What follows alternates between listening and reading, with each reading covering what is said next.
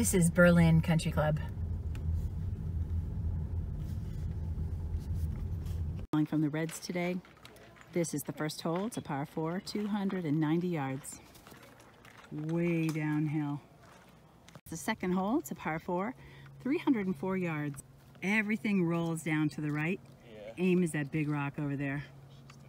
This is the third hole. It's a par 4, 310 yards. Way uphill. You have to stay to the right of that big pine tree. Otherwise, you're in a different fairway everything rolls down to the right. Here's a better view from once you get up to the tree. It's still way uphill. This is the fourth hole. It's a par three. It's 122 yards. Pretty much just straight out there, a little bit uphill. This is the fifth hole. It's a par four, 230 yards. The pin is over to the right. This is the sixth hole. to par four, 332 yards.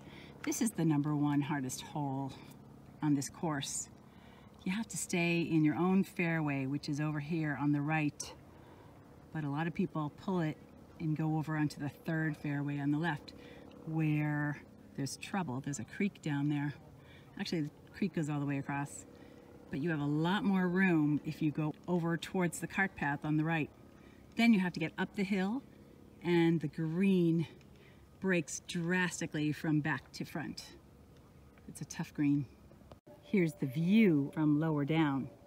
See a lot of people go over to the left there. From here you just want to get up that hill. This is the seventh hole. It's a par three. It's 91 yards. Everything rolls to the right. This is the eighth hole. It's a par four, 256 yards. You cannot see the green from here. It's over the hill to the left, kind of behind that box you can see up there. That said, if you hit it to the right where those people are, on the other side of the hill, it will roll to the left towards the pin. This is the ninth hole. It's a par three, 103 yards. Okay, this hole gets in your head.